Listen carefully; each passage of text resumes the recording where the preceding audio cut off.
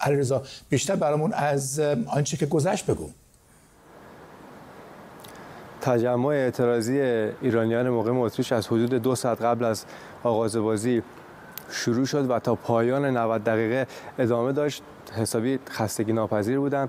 شعارهایی که سر دادن در حمایت از علی کریمی سردار آزمون و خیلی خشمگین بودن نسبت به عدم واکنش ملی پوشا حقا داشتن. به بعد از بازی با اورگوئه اون شادی گل رو انجام دادن و انتظار می‌رفت از از, از ملی پوشا که خیشتنداری بکنن حداقل. اگر نمی‌خوان الان تو این موقعیت حمایت بکنن دیدیم که سردار آزمون وقتی گل رو زد اصلا شادی بعد از گل انجام نداد و می‌گفتن حالا بین آزمون و علیرضا جهانبخش و تارمی هم مشکل هست. اما جهانبخش اومد و آزمون رو بغل گرفت دستش هم بالا نگه داشت و احمد نوراللهی هم می‌تونستی پشت سر این بازیکن‌ها ببینی که داره آرومشون می‌کنه و میگه شادی شادی گل انجام ندید. نمی‌دونم بازی رو شما تماشا کردید یا نه. ما از یک شبکه دیگه برای لحظاتی بازی رو دیدیم و صدای معترضین بیرون ورزشگاه کاملا شنیده می‌شد. ما شنیدیم که صدا و سیما صدا رو قطع کرده و گفتی که بازی بدون تماشاگر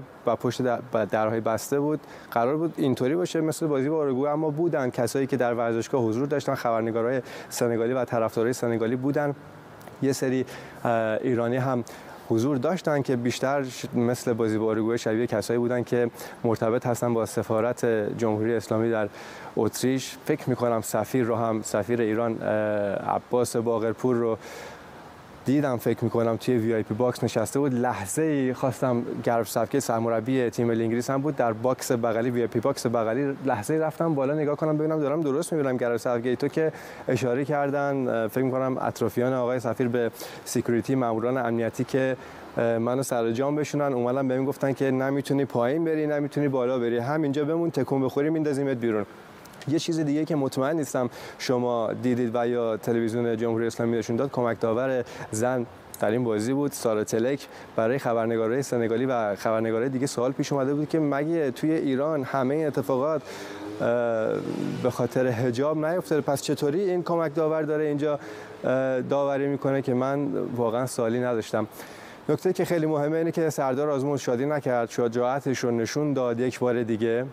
و همونطوری که گفته بود به قولش عمل کرد. در کنار مردم ایران بود. با شادی نکردن و استوری اینستاگرامش رو هم که می‌دونید که گفته بود فدای یک تار موی زنان ایرانی اگر از تیم ملی ختم بزنن سردار شجاعانه ایستاد تونست گل رو هم بزنه و بیشتر از قلب خودش رو تو دل مردم جاشو باز کرده.